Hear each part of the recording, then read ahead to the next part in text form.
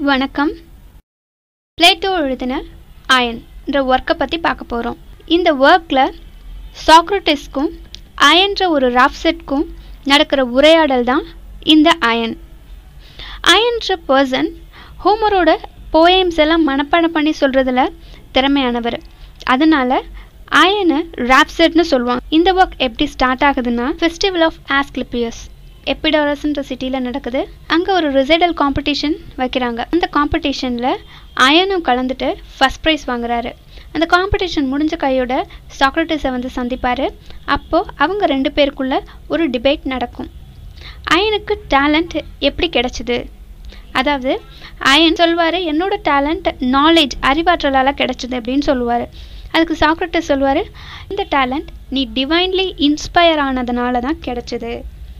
இப்படின்னு ரெண்டு பேருக்குள்ளே ஒரு வாக்குவாதம் போயிட்டுருக்கு. ரெண்டு பேருமே ஃபிலாசபிக்கலாக டிஸ்கஸ் பண்ண ஆரம்பித்தாங்க அப்போது அயன் சொல்வார் ஹோமரோட ஒர்க்ஸ் எல்லாமே எனக்கு தெரியும். என்னை விட ஹோமரை பற்றி நல்லா தெரிஞ்சவங்க யாருமே ஹோமரை பற்றி நிறைய விஷயங்கள் எனக்கு தெரியும். ஹோமர் எல்லாத்தையும் பற்றியும் அவரோட ஒர்க்கில் எழுதியிருப்பார். அதனால் எனக்கும் எல்லா விஷயங்களும் தெரியும் அப்படின்னு அயன் சொல்வார். டாக்டர்ஸ் அதுக்கு ஒரு கொஷின் கேட்பாரு. உன்னோட நாலேஜ் ரொம்பவே லிமிட்டடானது தான் ஏன்னா நீ எல்லாரோட ஒர்க்ஸுமே படித்தது கிடையாது. இப்படி சொன்ன உடனே ஆயன் ரியலைஸ் பண்ண ஆரம்பித்தார் ஆமாம் எனக்கு இன்ஃபீரியர் போயட்டான ஹெ ஹெசாய் ஆச்சிலோச்சோட ஒர்க்ஸ்லாம் நான் படித்தது கிடையாது.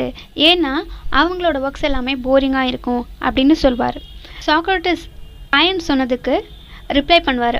He who judges poetry by rule of art ought to be able to judge all poetry எப்போ உன்னால் சுப்பீரியர் ஒர்க்ஸ் பற்றி தெரிஞ்சுக்க முடியுமோ இன்ஃபீரியர் ஒர்க்ஸையும் பற்றி நீ கண்டிப்பாக தெரிஞ்சுக்கணும். அயன் அண்டர்ஸ்டாண்ட் பண்ணிட்டாரு. சாக்ரட்டிஸ் அயன் கிட்ட உன்னோட திறமை ஆர்ட் அதாவது நாலேஜ்லேருந்து வந்தது கிடையாது. உன்னோட டிவைன் இன்ஸ்பிரேஷன்லேருந்து கிடைச்சது தான்னு சொல்வார். இதுக்கு ஒரு எக்ஸாம்பிளோட சாக்ரட்டிஸ் நிரூபிப்பார். ஒரு மேக்னெட் இருக்குது அந்த மேக்னெட்டுக்கு ஒரு அயன் ரிங்கை அட்ராக்ட் பண்ணுற அளவுக்கு ஈர்க்கும் சக்தி இருக்குது அந்த மேக்னெட் ஒரு அயன் ரிங்கை அட்ராக்ட் பண்ணுது. ஸோ அட்ராக்ட் பண்ண உடனே அந்த மேக்னெட் தன்னோட சக்தியை அதாவது அட்ராக்டிங் பவரை அந்த ரிங்குக்கு இம்பார்ட் பண்ணுது. இப்போ என்ன ஆகும்?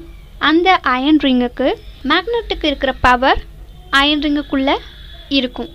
அதனால் அந்த அயன் ரிங்கால் இன்னொரு அயன் ரிங்கை அட்ராக்ட் பண்ணுற அளவுக்கு சக்தி இருக்குது ஸோ அதனால் அந்த அயன் ரிங் அந்த ஃபஸ்ட் அயன் ரிங் செகண்டாக இன்னொரு ஒரு அயன் ரிங்கை அட்ராக்ட் பண்ணுது.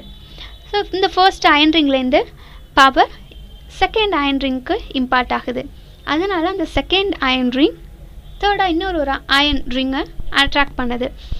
இதுலேருந்து இந்த அனாலஜிலேருந்து மேக்னெட்ன்றது கடவுளாகவும் ஃபர்ஸ்ட் ரிங் போயட்டாகவும் செகண்ட் ரிங் ராப்சடாகவும் லாஸ்ட்டாக இருக்கிற ரிங் ஆடியன்ஸாகவும் கம்பேர் பண்ணி சொல்கிறாரு அதாவது கடவுள்கிட்டேருந்து தான் போய்ட்டுக்கு கிடைக்குது. ஃபார் எக்ஸாம்பிள் அவர் கடவுள்கிட்டேருந்து தான் ஹோம்ஒர்க்கு பவர் கிடச்சிருக்கும். ஸோ அந்த டிவைன் இன்ஸ்பிரேஷனை வச்சு அவர் போயமாக ப்ரொடியூஸ் பண்ணுறாரு அந்த போயம் வழியாக ராப்சட் என்ன பண்ணுறாரு ஆடியன்ஸை அட்ராக்ட் பண்ணுறாரு இப்படி தான் நடக்குது.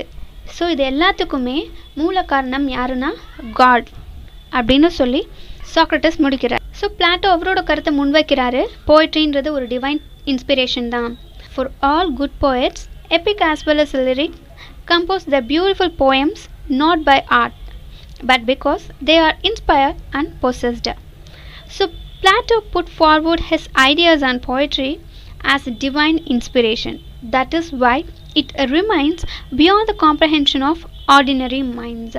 And thank you so much for watching this video. I hope this video helps you. See you in next video.